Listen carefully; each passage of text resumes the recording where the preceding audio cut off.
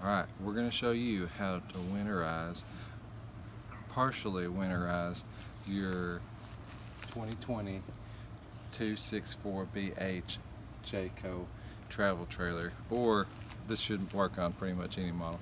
This isn't a true winterization because we're not going to fill the lines with the antifreeze but we are going to get all the lines blown out so that if it uh, gets cold between our trips uh, when we're winter camping then we shouldn't have to worry about pipes freezing and anything happening to it. Now you'll want to disconnect your city water.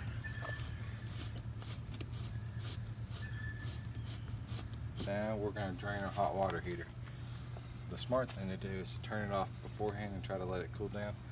I didn't give it very much time so it'll probably still be pretty hot. So just be careful.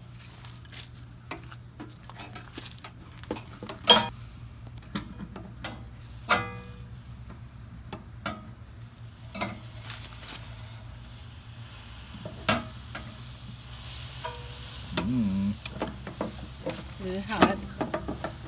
It's not too bad. Okay. Watch out. Okay, once you get that bad boy open, you can do this release and it'll make it come out much faster. Now we need to divert our hot water heater so we don't just blow air through the hot water heater. So there should be some valves on the hot water heater and I'm gonna climb down in here and change them to where it diverts the flow away from the hot water heater. All right, here's our the back side of our hot water heater. There's a cover that slides over it like that. You can unscrew it there and there.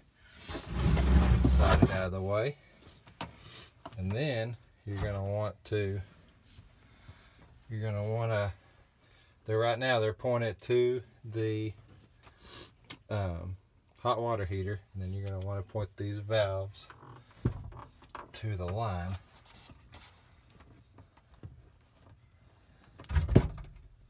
And that'll make the water go in here from the cold side and loop around and go back out and not go into the hot water heater. You'll also want to pull those valves up to drain the water lines that are low point drains on this camper. So you'll connect one of these on there to the city water and this is an adapter that connects to an air hose so you can blow air into your lines to get the water out. So we'll put that on first.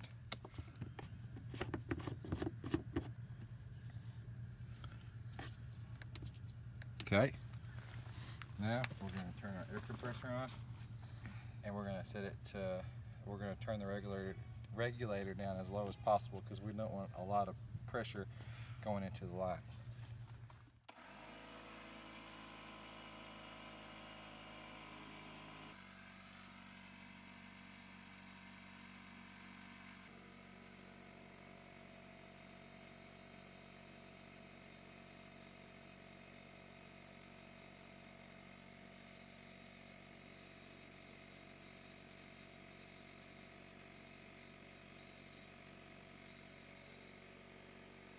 Now you're going to go around to each of your water connections. For us, we've got the uh, outdoor shower here, we've got a kitchen sink, and we've got a bathroom sink, a toilet, and the bath uh, tub. So you'll go around to those and you'll want to open up each hot and cold side and let the uh, one at a time and then let the air blow out.